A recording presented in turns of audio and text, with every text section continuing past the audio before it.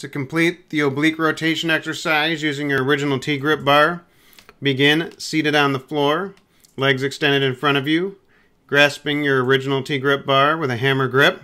From this position, lift your feet off the floor, keeping your weight on your hips, tightening your core, rotate first to the left and then to the right, making sure that you're keeping your core tight.